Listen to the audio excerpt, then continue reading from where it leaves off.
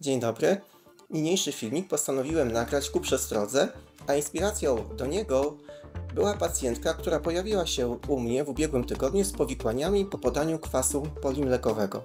Pani miała podawany kwas polimlekowy dwa razy w dolną powiekę i dwa razy w policzki w ubiegłym roku e, w gabinecie we wschodniej Polsce. W efekcie zabiegów pojawiły się uzwłóknienia oraz grudki, Zobaczcie sobie na zdjęciach, jak wyglądają dolne powieki pacjentki. Widać ewidentnie nierówności, widać ewidentnie wypukłości. E, to, czego nie widać, to jest bardzo duża twardość. To, to w praktyce wygląda tak, jakby pacjentka miała w tych miejscach dwa ziarnka fasoli. E, problem pojawił się kilka miesięcy po podaniu kwasu polimlekowego i szczerze mówiąc, e, nie jestem zaskoczony, że tak się stało, ponieważ kwas polimlekowy nie jest optymalnym, sensownym preparatem do podawania w okolice powiek dolnych.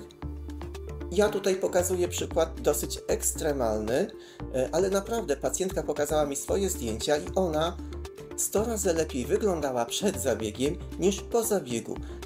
E, ale drugim problemem, który się u Pani pojawił, jest powikłanie w policzkach. Zobaczcie sobie na króciutkich filmikach, jakie nagrałem, żeby zobrazować, jaka jest różnica e, między lewym a prawym policzkiem w konsystencji i jaki jest efekt złego podania kwasu polimlekowego.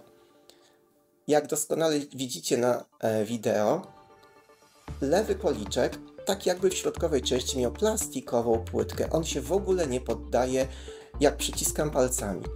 E, w rzeczywistości jest to naprawdę dosyć duży, taki 3 na 3 albo 4 na 4 cm prostokąt w środku policzka, bardzo gruby, bardzo sztywny, bardzo twardy.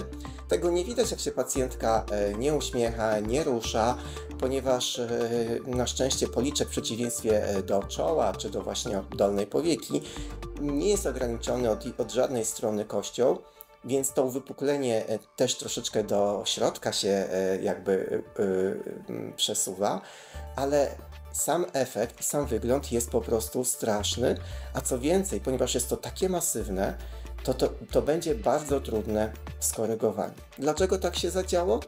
Przyczyn na pewno jest kilka. Jeśli ktoś chciałby więcej e, się dowiedzieć, to zapraszam na mojego bloga, bo jeszcze mam zamiar opisać ten przypadek e, również na blogu. Bardzo Wam dziękuję za obejrzenie filmiku e, i życzę wszystkiego dobrego. Do usłyszenia.